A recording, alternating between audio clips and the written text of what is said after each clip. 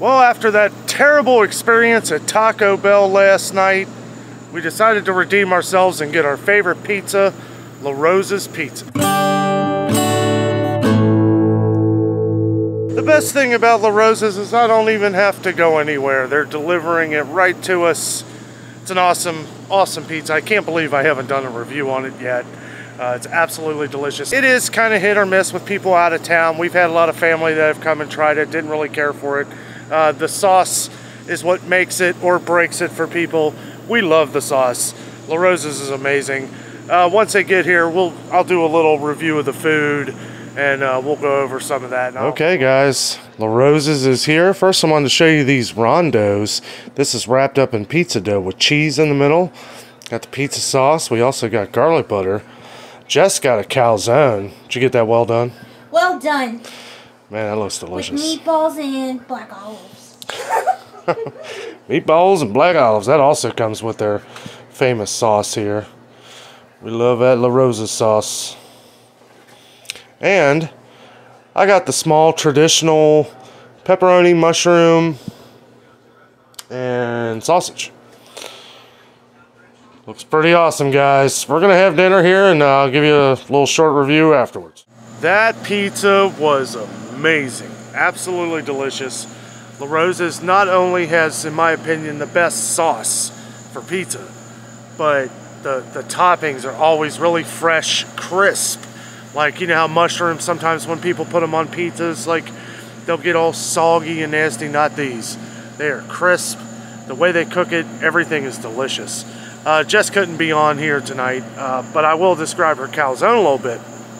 Uh, she gets it well done, and it's it's amazing. Like if you get a calzone, I don't know really from anywhere else, but if you get one from La Rosa's Pizza, you want to get it well done because when it goes through that second time, it doesn't really like burn anything on the inside, but you get that nice crisp crispness on the calzone, which kind of gives you more of a crunch. And then on the inside, the cheese. You should have seen it. I, I didn't really want to film this while we were eating. We're watching videos on the TV, some of our favorite YouTubers.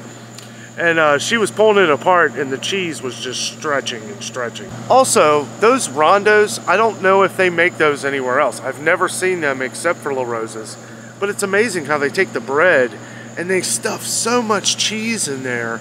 And then you get the part at the bottom where it's on like the plate or the thing that they send it through on the oven, and all that cheese oozes out on the bottom and they scrape that off and you get all that crusty cheese around the side. Man, was that delicious. We had to have some redemption for our Taco Bell last night. I know we've been getting a lot of comments on the uh, the bad experience at Taco Bell and it was just everything.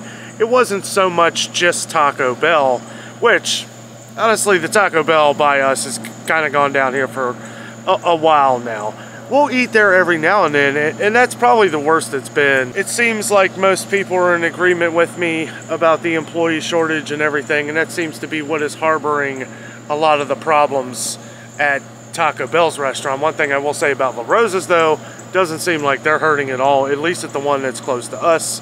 Um, they always do everything perfect. Everything's always perfect. We never never have a problem, but if we do, we've had a couple problems over the years, but they've always made it right. They, they either offer to uh, bring us out the right stuff or they'll, they'll credit us. We've a couple times they've messed up sandwiches and I was like, well, and then they offer to, to credit us. I'm like, well, okay, because I think to myself, I can just scrape these other toppings off that they messed up on, put a little mayonnaise on it, good to go. La Rosa's is known for a lot of different things. They have a lot of different awesome hoagie sandwiches um, different types of dinners. They have a spaghetti dinner that's amazing. Uh, one thing that I get sometimes, it's the uh, beef ravioli, where they put beef ravioli in their spaghetti sauce, which, whew, that's really good too. And, um, and when you get a dinner, it's like $10 and you get all these big raviolis. You get two rolls and a big, huge salad. I mean, for 10 bucks, it's well worth it. Actually, I think it's $10.99 now, but still worth it you'd pay $20 for something like this at Olive Garden. So I, I look at it as a, a, great deal. And what's nice about La Rosa's too is that they're really close. So if we don't want to have it, you know, we can either pick it up or we can have it delivered. Um, really great drivers there too, and, and they take care of us. and you can tell because uh, whenever we order from there, it'll say like 40 to 50 minutes, and I swear they're here as fast as it's coming out of the oven. Like they, they take care of us, and we take care of them too.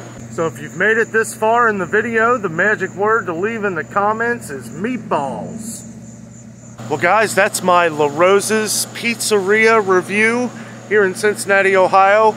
The most famous pizza in Cincinnati, uh, in my opinion. There, we do a lot of pizza around here. I mean, there's, there's all kinds of uh, mom and pop pizza places, which we may do some reviews on those too here eventually. But I wanted to do, we wanted to have a great meal. We always get that from La Rosa's. So with all that being said, I hope you enjoyed the video. I am out and always remember the adventure is out there.